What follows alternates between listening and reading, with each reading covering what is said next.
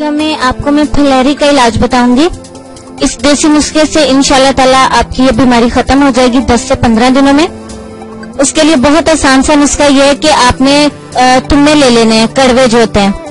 اسے آپ نے موٹا موٹا کوٹ کے کسی کھلے برتن میں ڈال لینا جیسے تسلا یا کوئی بڑا برتن، پرات وغیرہ، اس میں ڈال کے اس کے اوپر اپنے کھڑے ہو جانا ہے۔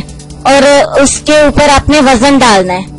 اور یہ عمل آپ نے اس وقت تک اس کے اوپر کھڑے رہ کے کرتے رہنا جب تک ان کی کڑواہٹ آپ کے حلق تک، گلے کے اندر محسوس نہ ہونے لگ جائے۔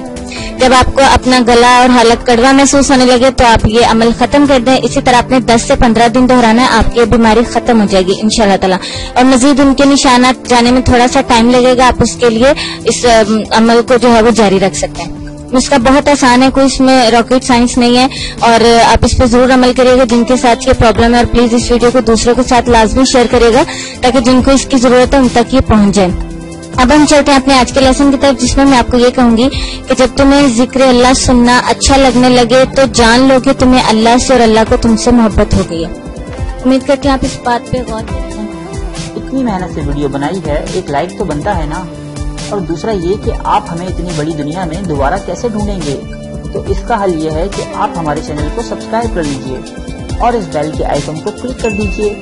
اس طرح ہمارے آنے والی تمام ویڈیوز آپ تک پہنچ